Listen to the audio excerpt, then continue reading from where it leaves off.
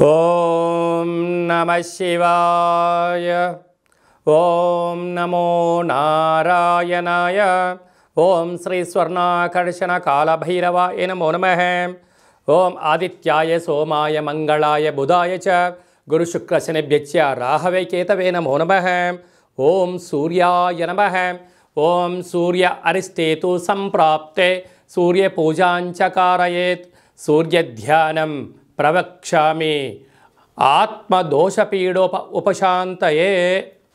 మా ఛానల్కి స్వాగతం. చూస్తున్న వీక్షకులకు ప్రేక్షకులకు ప్రియ కాళభైరవ భగవద్బంధువులకి జ్యోతిష్య అభిమానుల అందరికీ కూడా స్వాగతం పలుకుతూ జూన్ నెల పదహారో తారీఖు నుండి జూలై నెల పదిహేడవ తారీఖు వరకు మిథున రాశిలో రవి సంచార స్థితి ఉన్నప్పుడు ఎలాంటి ఫలితాలు ఉంటాయో సవివరంగా సంపూర్ణంగా తెలుసుకుందాం. సూర్యుడు అనగా భాస్కరుడు ఆదిత్యుడు. అభిషేకో ప్రియో శివ అలంకార ప్రియ వెంకటేశ్వర నమస్కార ప్రియ భాస్కర అంటారు. కనుక ద్వాదశ రాశులలో ఆయన సంచారం చేసినప్పుడు ఒక్కొక్కరికి ఒక్కొక్క రకమైనటువంటి ఫలితాన్ని ఇవ్వడం జరుగుతూ ఉంటుంది. కనుక మిథున రాశిలో సంచారం చేసినప్పుడు ద్వాదశ రాశుల వారికి విడివిడిగా ఎలా ఉండబోతుందో సవివరంగా తెలుసుకుందాం. మిథున రాశి వారికి ఎలా ఉండబోతుందో ఈ వీడియోలో సంపూర్ణంగా తెలుసుకుందాం.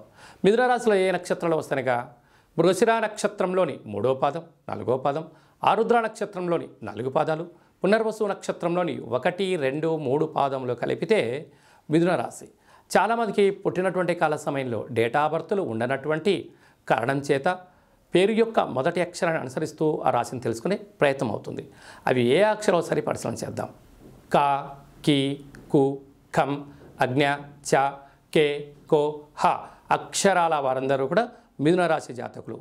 మిథున రాశిలోనే రవి సంచారము చేయడం వలన దూర వాయు జల ప్రయాణాలు చేసేటువంటి కాల సమయంలో ఇది ఇప్పుడు ఈ ప్రయాణం అవసరమా కాదా అని మనం తెలుసుకోగలగాలి. లేకపోతే అనవసర ప్రయాణం సమయం ధనం వృధా అవ్వడమే కాకుండా సకాలంలో మీరు చేరాల్సినటువంటి గమ్యాన్ని చేరలేరు అని చెప్పి గుర్తుపెట్టుకోగలగాలి.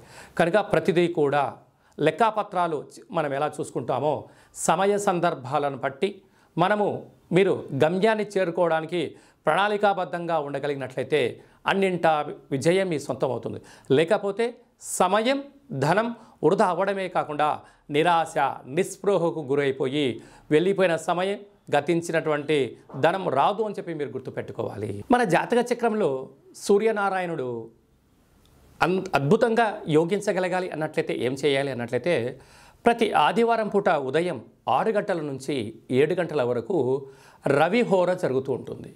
అలాంటి కాల సమయంలో మౌనం ధ్యానం ఆసనం సూర్య నమస్కారాలు ఎప్పుడైతే మనం చేస్తామో అద్భుతమైనటువంటి ఆయురారోగ్యాలు కలుగుతాయి.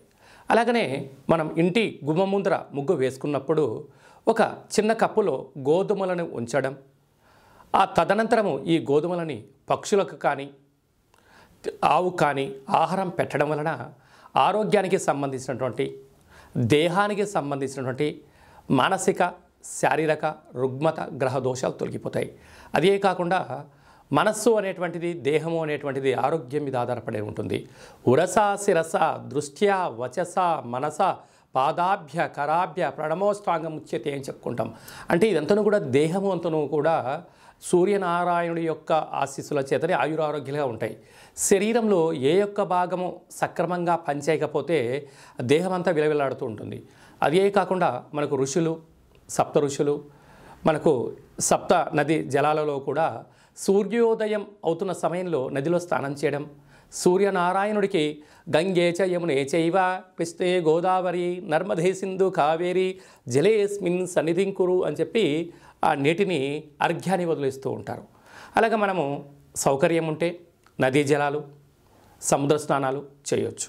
కుదరలేదు ఇంట్లో స్నానం చేసిన తర్వాత సూర్యనారాయణకి ఎదురుగా నించొని ఒక రాగిచమ్మలోంచి చేతిలో నీళ్ళు వేసుకొని మూడుసార్లు అర్ఘ్యాన్ని వదిలించడం వదిలేసడం వలన సూర్యనారాయణ యొక్క స్వామి యొక్క ఆశీస్సులు అద్భుతంగా ఉంటాయి. అలాగనే మనం సూర్య నమస్కారాలు ఒక్కసారి చేయడం వలన మనకు రాసులు పన్నెండు ఉంటాయి. ఒక్కొక్క రాశిలో సూర్యుడు ముప్పై రోజులు సంచారం చేయడం జరుగుతుంది.